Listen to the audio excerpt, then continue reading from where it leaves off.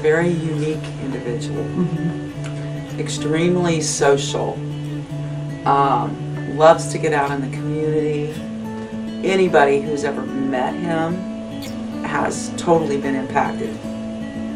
I mean, he never forgets anyone. He's never met a stranger.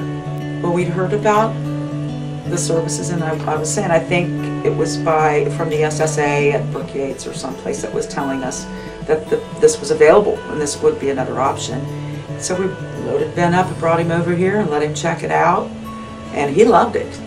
And it was his decision. Mm-hmm. You know, we we asked him if this is where he wanted to be, and he said yes. So this is where he's been ever since. Mm-hmm. Yeah, the staff is very friendly, courteous, cooperative. Mm-hmm. I think that you guys have a lot of good options. And like I said, Benjamin is a very social bunny. He loves to get out in the community. So the fact that you offer mm-hmm. choices and things that he can do, or if he doesn't want to do them, I think that's great. He loves it.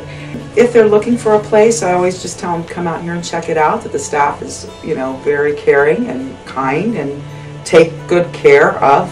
They will take good care of the family member. And aside from that, also that all the activities and things that they do, that you know their family member is not going to sit there and just do nothing all day and mm-hmm. be bored. And I think it's really important for families to know that there's a place available where they can do that. Yeah.